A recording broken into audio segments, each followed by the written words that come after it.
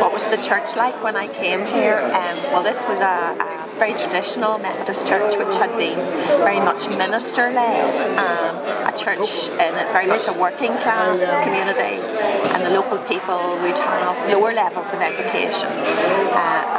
Community that is quite disempowered, a lot of people with low self confidence, low self esteem, reluctant to lead. And so when I first came here, I suppose my main aim was to raise up leadership uh, because there was really not a lot of engagement other than Sunday, midweek, choir, that sort of thing. Um, but we've seen leaders raise, rise up. Um, leaders who are who couldn't people who couldn't have even led a Bible reading in church are now leading Bible studies, prayer groups, leading a prayer ministry, praying for people at the end of the service. And our work was very much at the start focused on prayer and a lot of teaching around prayer. And really, I suppose our mission statement is loving God, sharing Jesus, caring for others. And so we focused on each part of that. What did it mean to love God? Where was our passion for God? What was our hunger for God? Because it's out of our own passion for God that our mission will come. And so as, as we developed that, then we began to look at what does sharing Jesus mean? And so we began to go out onto the street and just give away things. So we gave away love hearts uh, on St Valentine's Day, and, and one man cried because nobody had ever given him anything.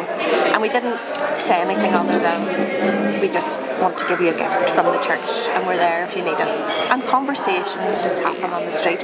And, and the church would now say those days are some of the best days that they have, just sharing with the people on the road. Let me tell you about Jim. Jim's a local guy from here. Jim is an alcoholic and uh, his marriage fell apart because of his drinking and Jim tried to commit suicide three times. He heard about our cafe here and some of the women invited him to come along because Jim is a trained chef but Jim couldn't hold down his job because of his drinking problem. So Jim came along here and, and began to cook for us. Have to manage Jim at times, but Jim would say that the, it's been this cafe and this church that has actually saved his life. And, and he would call this his church and this his community. Just I just read on a balloon there because we had a discovery service on Sunday and I've just read on a balloon, you know, um, how, what are people celebrating about our church now? A change, a turnaround, that they're a, a, a place where welcome is found, where engagement with the community happens, where they where they feel empowered to lead. And I think that's for me the transformation. And a community that again we, we had a, a, a day a drumming circle here. We had 60 people, maybe 70 from the community in for the drumming circle and a barbecue. And people who were unchurched, most of them unchurched, just saying this is great. We just love to come in here.